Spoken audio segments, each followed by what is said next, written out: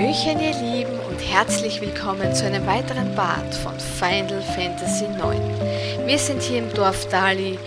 Zusammen mit unserem Trüppchen, haben eine erholsame, oder besser ein, ein erholsames Schläfchen hinter uns gebracht. Und irgendwie sind alle weg, nur unser Zidane hier, der sich mal zurechtstreckt, der steht noch hier in der Pension. Und vielleicht kann uns ja das Active Time Event ein bisschen helfen.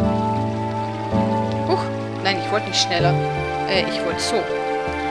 Event wählen. Mimi und die Kinder.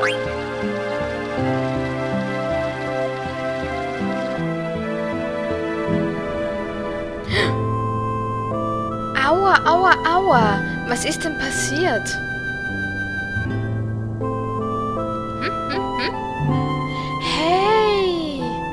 Du bist doch der von gestern. Ah, schnell weg. Hm. Ich habe irgendwie das Gefühl, dass die mir aus dem Weg gehen.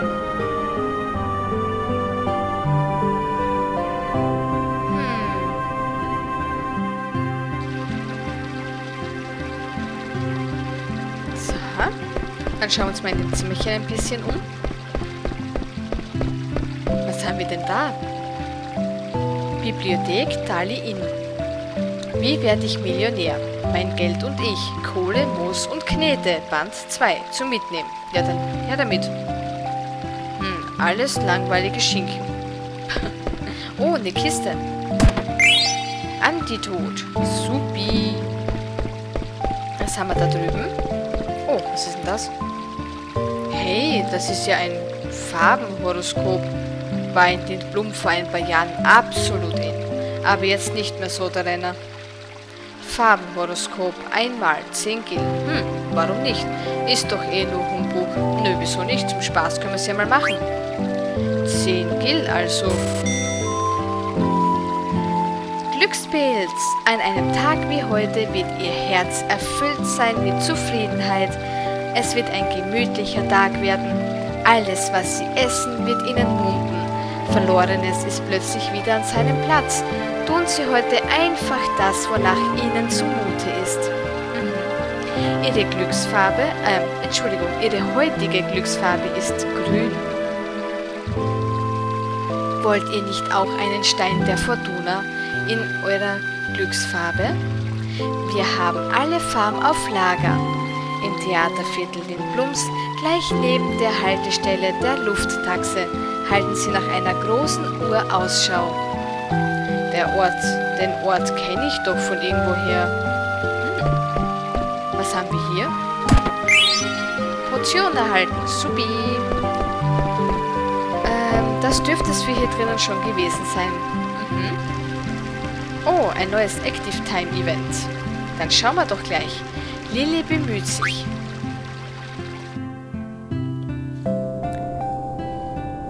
Was wohl jetzt im Schloss vor sich geht. Wie konnte es nur dazu kommen? Ah, auch wenn es zu meiner Rettung war.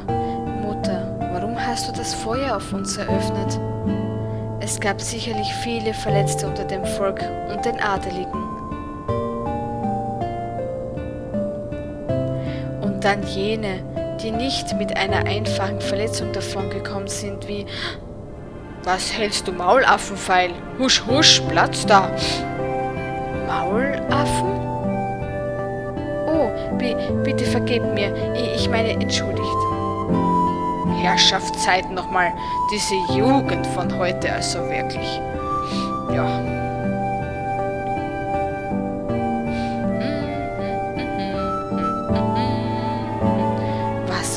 Da? Nach was sieht's denn aus? Ich, ich beseitige das Ungeziefer, das mein ganzes Gemüse zerfrisst. Ihr tötet diese Insekten? Oh, wieder so eine von Greenpeace oder was? Bist du vom Zirpenschutzverein oder wie? Ungeziefer sind wie Monster. Wenn du nicht Acht gibst, fressen sie dir alles weg. Ich schwöre, sogar die Unterhosen fressen die weg. Ah, da, schon wieder so ein Mistviech. Oh, eine Juckzirbe. Juckzirben ernähren sich also von Gemüse. Boah, die Juckzirben machen dir nichts aus. Du bist ja ein seltsames Ding. Ich habe bisher kaum, also bisher habe ich noch kaum welche gesehen. Aber wenn ich meine Redeweise und mein Auftreten ändern will, dann sollte ich vielleicht auch so tun, als fände ich sie. Eins, zwei, drei. Wah! Ih, ekelig! Ah, weg mit dem Vieh! Hm. Servus, wer bist denn du? Gumo, was gibt's? Äh, Mobnet. Gumo, stets zu Diensten, Kubo. An Gumo einen Brief überreichen. Einen Brief von Mois an Gumo in Verwahrung. Jo. Oh, ein Brief von Mois. Ich mag Mois eigentlich nicht. Naja, aber ich kann ihn ja mal lesen, Kubo. Hm. Von Mois an Gumo. Da kam irgend so ein Depp mit Flügeln vorbei und friert mich einfach so ein. Also mir nichts, dir nichts ein sogar.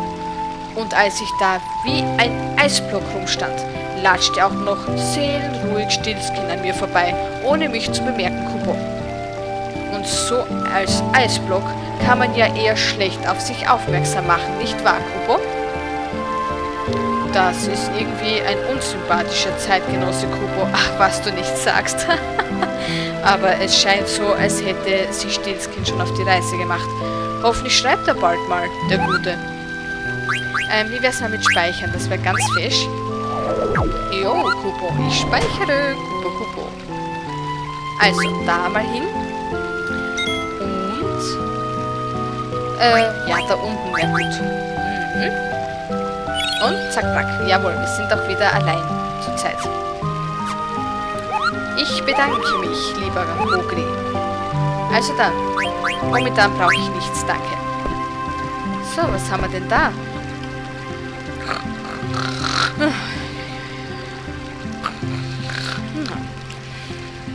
Schlaft, alter Schwede. Der muss eine harte Nacht gehabt haben. Dali in Frühstücksmenü. Für 20 Gil ein herzhaftes Frühstück. Frisches Wasser aus dem Brunnen, ein großes Spiegelei, frisches Gemüse als Beilage. Das nennt er herzhaftes Frühstück. Wo sind die Semmeln? Wo ist die Butter? Wo ist die Marmelade? Wo ist ein Kaffee oder ein Tee oder ein Kapi zum Frühstück, also Orangensaft, irgend sowas. Menü je nach Wochentag unterschiedlich. Na, prima. Der steht jetzt schon die ganze Zeit da, oder was? Da wird das Essen ja noch kalt. Unfassbar. Oh, neues. Active Time Event. Die Mieze hat's gesehen. Ach so.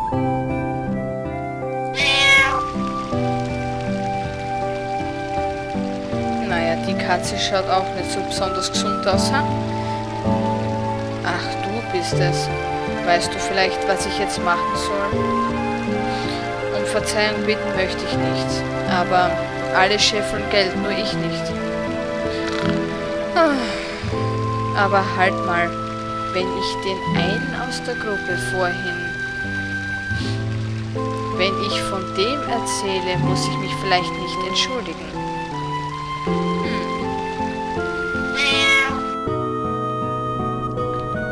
Was, welcher eine? Was meint denn der Depp? Ein Gebäude? Oder zumindest, warte mal.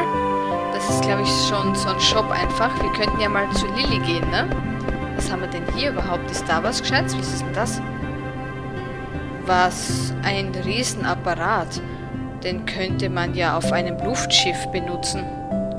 Warum gibt es in so einem Dorf so ein großes Zahnrad? Wahrscheinlich für die Windmühle oder so, ne? Oh, da ist Vivi. Hallo Vivi. Hey Vivi. Gibt's da was zu sehen? Hey Zidane. Ich, ich habe nur nachgedacht. Aha, jetzt weiß ich Bescheid. Hm? Du hast bestimmt ein Mädchen getroffen und dich direkt in sie verschossen, stimmt's? Gar nicht. Mädchen sind ekelhaft. Ich bin ja erst neun Jahre alt, da stehe ich doch noch nicht auf Mädchen. Hm. Jetzt sag bloß, du stehst nicht auf Mädels. Eigentlich habe ich noch nie über sowas nachgedacht. Ich bin ja noch ein Kind, du Depp. Hm. Echt nicht? Also ich denke irgendwie an nichts anderes. Na klar, du bist ja auch schon seit mindestens drei Jahren in der Pubertät, du Pfosten. Unfassbar. Den Blum pflegen sie sowieso alle auf mich. Ich bin ein Schürzenjäger, musst du wissen. Wenn du also mal diesbezüglich Hilfe brauchst, werde ich dir mit Rat und Tat zur Seite stehen, Kumpel. Hm, ähm, ja, gu gut. Danke, denke ich. Auf jeden Fall wollte ich gleich mal eine Lagebesprechung einberufen. Ich gehe Lilly und den alten Steiner suchen. Geh doch schon mal in die Pension zurück. Gut, habe verstanden. Ähm, ach ja, da gibt's... Was gibt's denn hier nun tatsächlich zu sehen? Ich höre immer so ein Kräh von hier drüben. Na, wenn... Na, dann läuft hier wohl irgendwo ein, Ko ein Schokobo rum. Hm? Also, bis gleich in der Pension. Okay. Was wohl ein Schokobo eigentlich mag? Schokobo? Ah! Hm? Den alten Steiner mal außen vor. Wo ist nur Lilly hingegangen? Die Mieze hat's schon wieder gesehen. Hey. Mann, hat der ein Gesicht gemacht, als hätte er Brane beim Duschen gesehen. Boah. Da kommt dann ja noch obendrein das Kotzen, Alter. Wie kann er denn sowas sagen? Puh. Hat ihn direkt von den, ähm, hat ihn direkt von den jüngeren Arbeitern Gewahrsam, Gewahrsam nehmen lassen. Boah. Jetzt nur noch den Steinheiligen spielen, bis die anderen das Dorf verlassen. Huch. Schnell schlafen legen.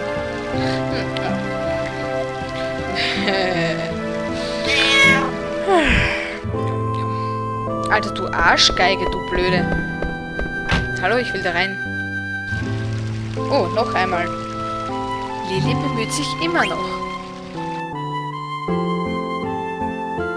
Hm. Vorhin wurde ich zwar ziemlich...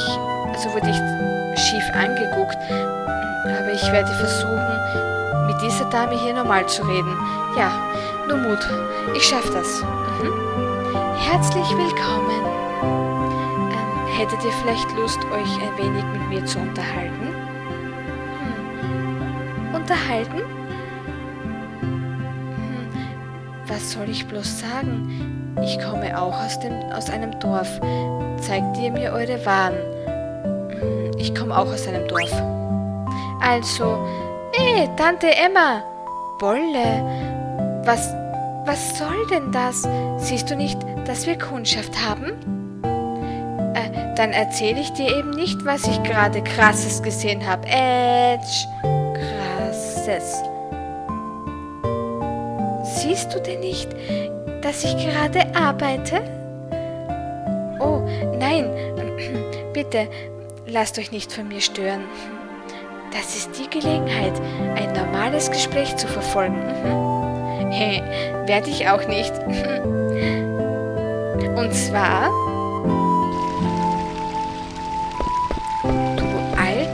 Sack. Tut er echt so, als wenn er schläft, Alter, dieser... Und du? Du hast nichts... Du, du, du, du pfeifst nicht einmal, ne? Ja, die miaut nur. Na, großartig. Aber das passt ja gut, dass Lili da ist. Dann gehen wir sie gleich mal besuchen, ne? Lili? Gibt's da was umsonst oder wie?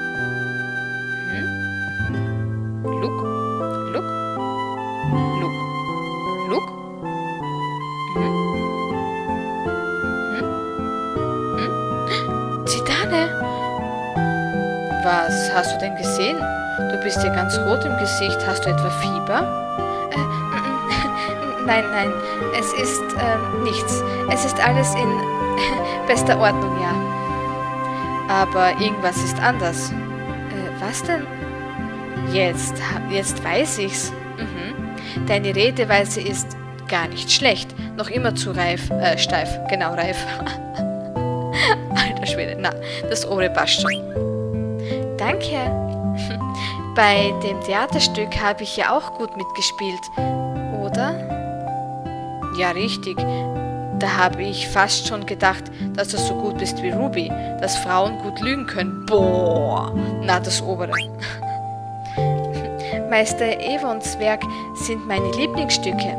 Ich habe, hab sie alle äh, gesehen. Mhm. Und das Stück Deine Taube möchte ich sein ist mein Lieblingsstück.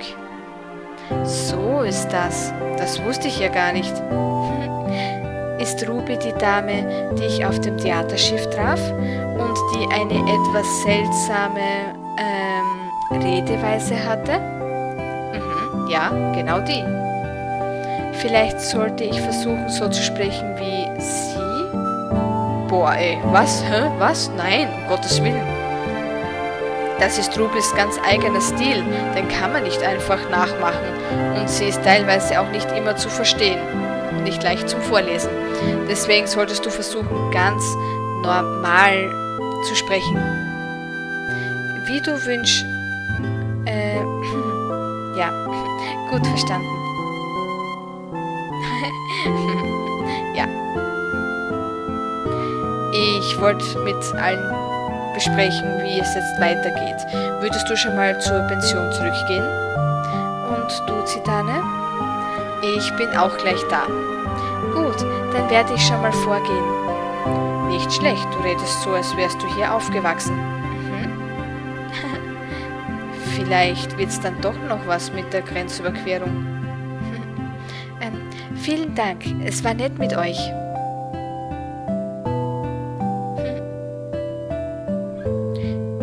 War aber komisch.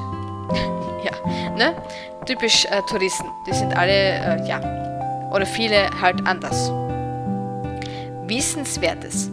Es bedarf reichlicher Überlegung, ob nach Erhalten einer guten Rüstung oder Waffe diese gegen die alte ausgetauscht werden soll. Stehen Sie womöglich kurz davor, eine neue Ability zu lernen? Ob Sie nach Erlernen einer neuen Ability Ihre Ausrüstung wechseln, ist Ihnen überlassen. Sind Sie jedoch knapp bei Kasse, werden Sie sich, äh, wenden Sie sich an uns. Wir kaufen alles. Information zu den Waren. Drücken Sie doch beim Umschauen mal 1. Gelegentlich wird dann eine kleine Erklärung zu den Waren eingeblendet.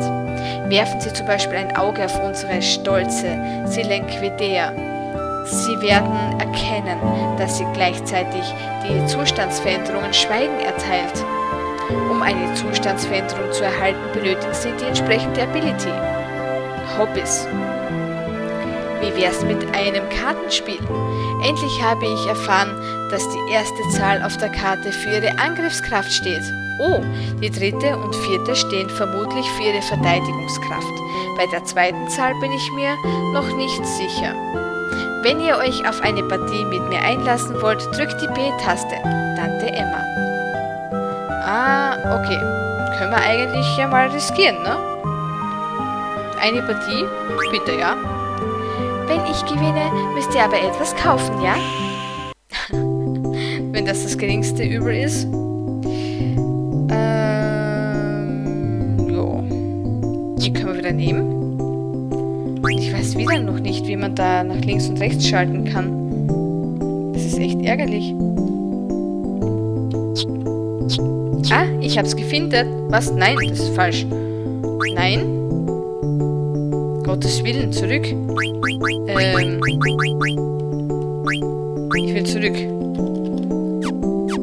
So, Gottes Christus. Puh, schau mal. Das muss irgendwie gehen, dass die da, dass man die wechseln kann. Aber wahrscheinlich geht's. Ah, ich habe sie gefunden. Jetzt wirklich.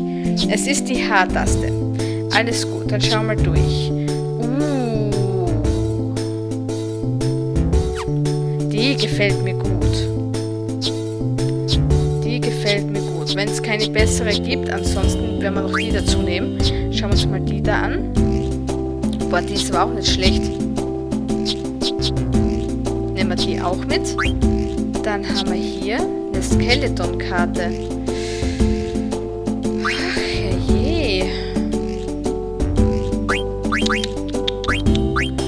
Das ist eine schwere Entscheidung. Ich würde die gern mitnehmen. Die Ex-Mensch-Karte ist eigentlich immer gut. Die ist auch normal nicht schlecht. Aber der Kampfpudding. Da würde mir die schon eher zusagen. Also die da. Ja, ich probiere es mal mit dem Kartenset. Ja, yeah, wir dürfen anfangen.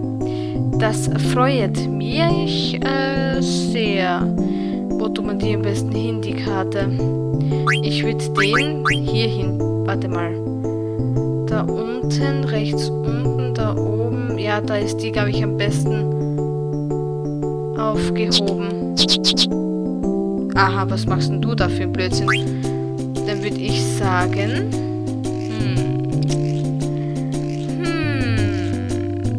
Die da vielleicht. Hierhin verschwenden. Die spielt einen echten Topfen zusammen, oder? Dann würde ich die gerne. Hin. Oh, nein! Um Gottes Willen, jetzt hat es Bumm gemacht. Würde ich die gerne. Schau, wie geht denn sowas? Oh, jawohl, Gott sei Dank. Schwitz, schwitz, schwitz. Alter Schwede. Und dann hier oben. Ja, ja, ja, super. Das schaut gut aus. Ja, gewonnen. Gewonnen, gewonnen. Super. Puh, jetzt habe ich kurz geschwitzt, ehrlich gesagt. Ähm, was nehme ich denn weg? Die schaut gut aus. Die nehme ich weg. Passt. Super. Nein, danke. Eine Partie reicht mir schon eigentlich. Danke. Boah, ey. Jetzt habe ich echt gerade geschwitzt. Super. Aber bei ihr kann man tatsächlich was kaufen. Herzlich willkommen. Puh, Falchion. Richtig, richtig, richtig. Und zwar, die Route kennen wir schon. Zauberstock auch. Armreif, Lederarmreif, Bronze, Leder, Federhut. Aha, Federhut wäre super. Da werden wir, glaube ich, auch gleich drei kaufen. Weil's, oder warte, Nummer zwei. Nehmen wir Nummer zwei. Vielleicht erwischen wir noch irgendwo was. Bronzehelm, den trägt er gar nicht. Aha, dann habe ich den noch nicht ausgerüstet. Bronzerüstung. Okay, dann sind wir da fertig. Ein Seidenhemd für den Zidane. Hm. Ich, ich bin mir da leicht unschlüssig.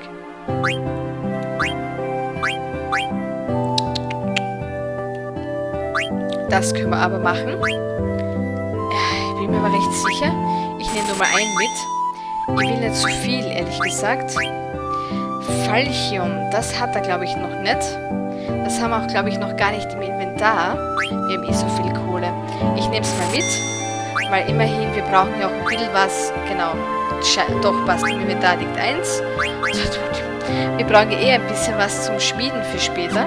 Ja, sowas gibt es hier auch. Also, für die Gnädigste. So, da gehen wir halt den Steini suchen, ne? Oh, oh. Ach, soll der Stein doch bleiben, wo die Todesschotten wachsen. Erstmal zurück zur Pension. Was, dann gehen wir zurück, ne?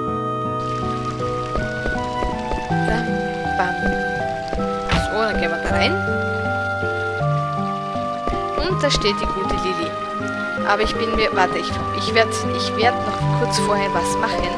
Und zwar beim Mogli speichern, weil der Part ist eigentlich eh schon wieder zu Ende. Jo, bitte speichern. Ich speichere Kubo. Jo, das speichern wir hier hin. Äh, ja, können wir echt da drauf klatschen. Das passt schon, oder? Nein.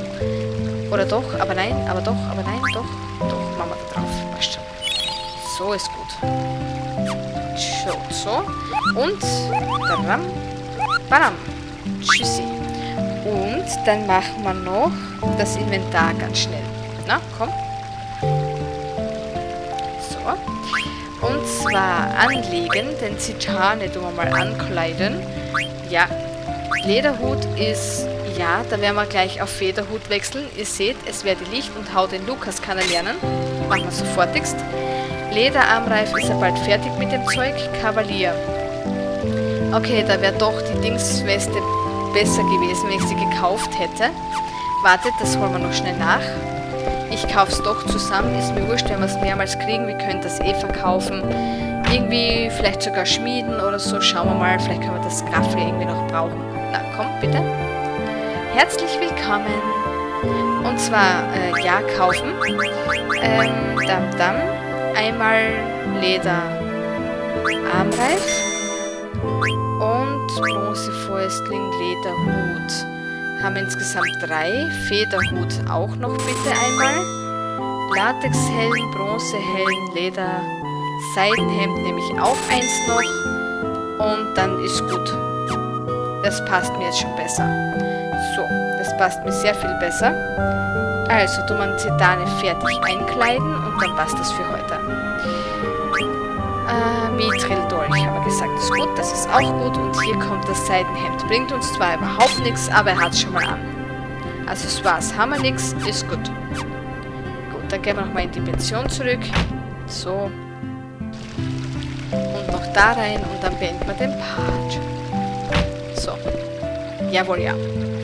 Also gut, ihr Lieben, ich bedanke mich wieder fürs Zuhören, fürs Zuschauen, wünsche euch einen schönen Tag, einen schönen Abend, je nachdem, wann ihr das Video schaut und wir hören uns beim nächsten Mal. Tschüssi!